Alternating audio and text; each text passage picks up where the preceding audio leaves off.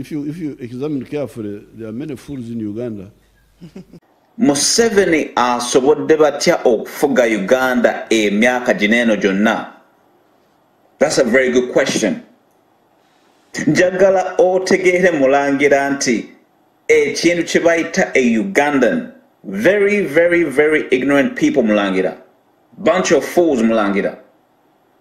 And you know why i'm saying that? Mulangira you put them to a test do an experiment.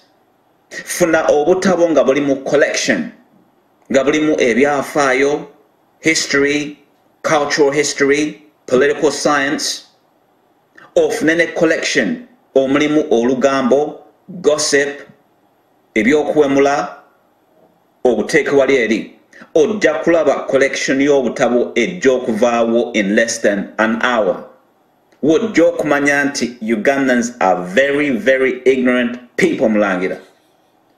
Naye nga si bonna si bonna mulangira ate mulangira w'oba ng'oyagala okufuna 10000k oba 20000k mulangira. Unn gifuule platform ey'okuwemula nga kuliko lugambo showbiz ojja kulaba namba ezo we zeeyongerako ze nakkiriza dda mulangira bannayuganda abasinga the a bunch of fools mulangira. Nze nakkiriza dda. Era museveni kaye simunanya obafuga all of those years.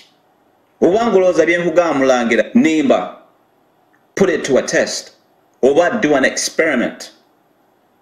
Wojja okumanya nti abantu bomalirako n'obudde bwo the a bunch of fools mu nsonyiwa naye nga si bonna If you, if you examine carefully, there are many fools in Uganda.